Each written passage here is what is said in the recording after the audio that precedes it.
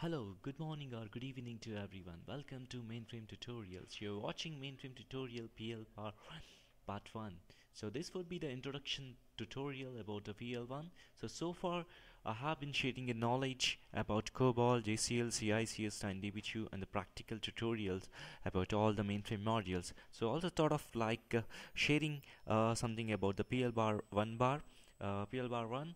So which is very very uh, useful and which is uh, still used uh, by many of the companies and uh, so thought of sharing the same. So this would be completely a free tutorials. So I would I would be posting a couple of videos about this PL uh, PL, PL programming language one. Okay so let's go ahead and start with the introduction. So PL bar 1 stands for uh, language 1 and it is a structured programming language that is used to support mainly for scientific computing, business programming and data processing. So when it was developed, it was uh, introduced in 1965 by IBM, right? So the key feature, it is a free flow language. It supports the pointer.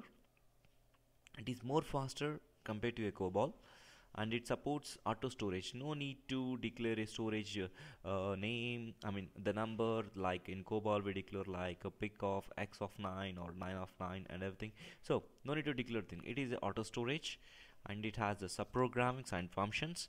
We call here it has a main program that is divided into subroutine procedures and function procedures. Okay?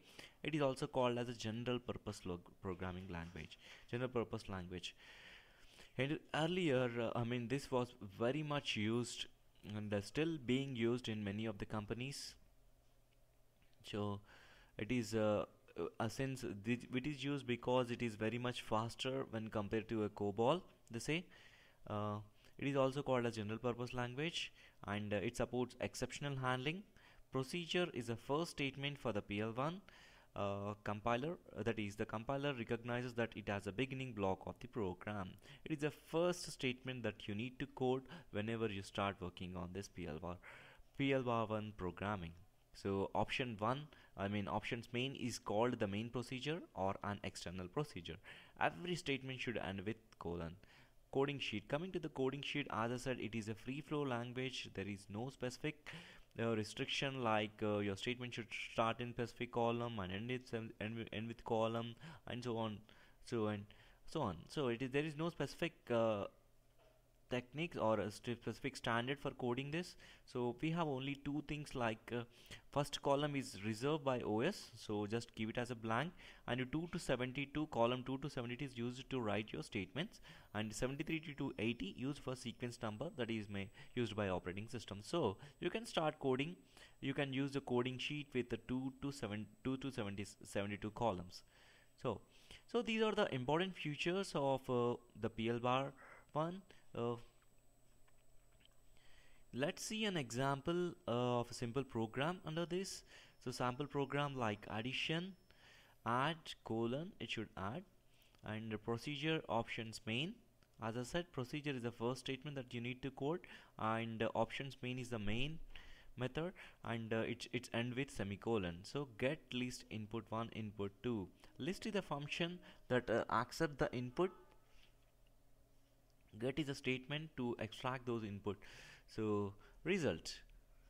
A result is my variable input 1 input 2 or user defined variables. So you can observe here like like in COBOL if we have to declare these things what we used to do input 1 colon we uh, in COBOL we COBOL we call it as uh, 0 1 input 1 picker class x of 9 or 3 or something.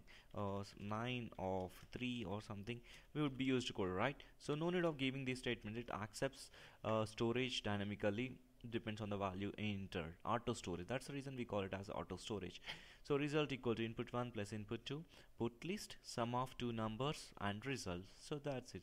So this is a simple program uh, for a PL bar 1 so and uh, this is since it is an introduction to PL bar 1 I do I'm not going to tell you about more things so in my next videos I will be coming up with details details about the PL bar 1 so thank you so much for watching this video if you like uh, this video kindly please subscribe share or comment on my youtube channel Thank you so much for watching this video. Have a great and pleasureful day.